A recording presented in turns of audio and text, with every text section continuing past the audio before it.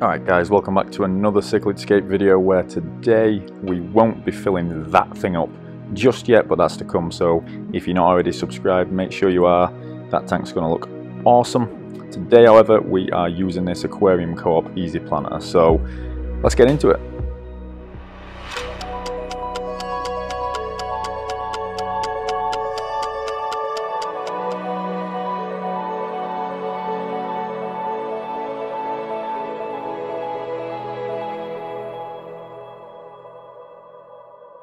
Alright, so I just went to the fish store and picked up a few plants.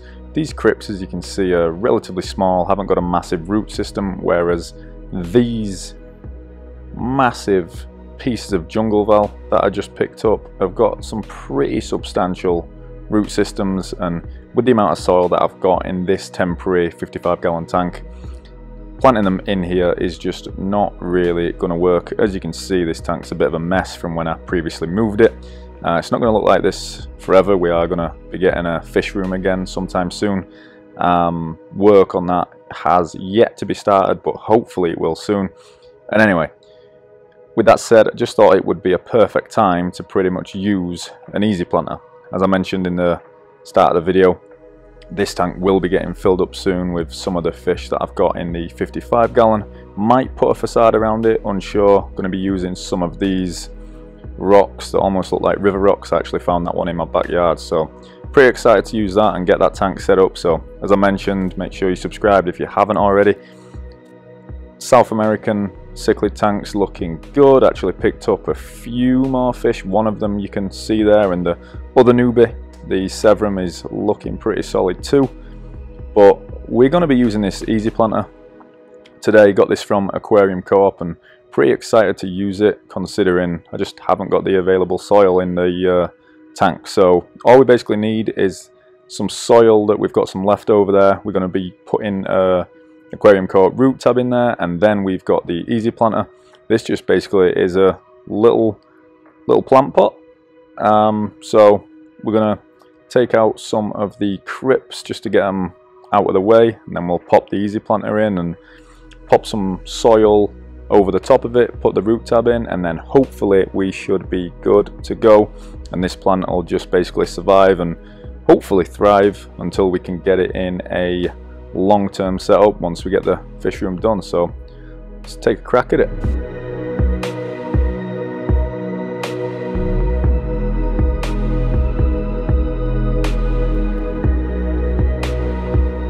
So we got the easy planter in along with the root tab, the soil, and then managed to get the jungle val put in there. And overall, really, really happy with it. I think it looks pretty solid.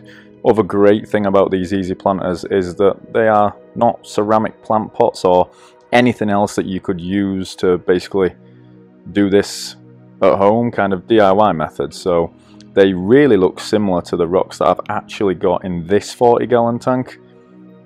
This angelfish is just quality by the way. Also love that keel cichlid. And I'm really hoping he's a male and starts growing soon. South American tank, as I mentioned, is just doing brilliantly.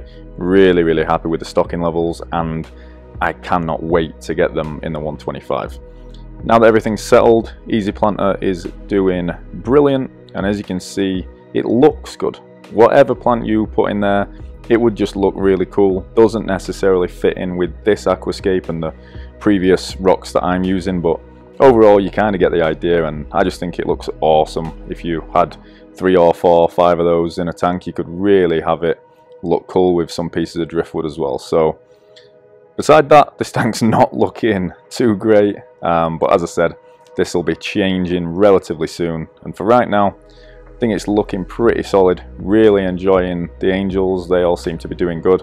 And the massive school of Neon Tetra just look great. So it's a relatively cool short-term tank for right now.